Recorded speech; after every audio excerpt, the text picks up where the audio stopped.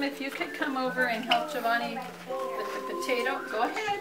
I can do two at a time. Elena, you can. I like when they excited about things, like when they learn to read or they lose their teeth or they're excited to come share stories. It's just a real fun age and they're so willing to learn at this age. They are just really, really a joy to be around.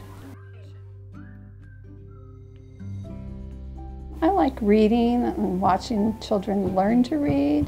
I believe in phonics. I believe in learning the letter sounds and blending them together. Reading is the key.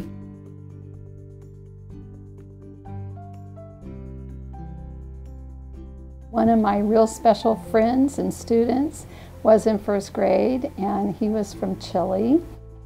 It was inspirational. He had Spanish speaking parents and he was like two or three years above grade level by the end of first grade.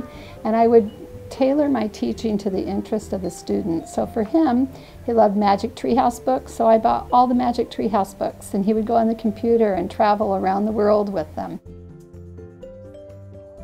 I expect the children to read every night. Sometimes I'll let the kids choose their books, sometimes I choose them for them. And sometimes they'll really like one particular author and they'll want as many books as I have of that. And I go above and beyond to always try to meet the needs and have children be motivated and interested and have a love for reading.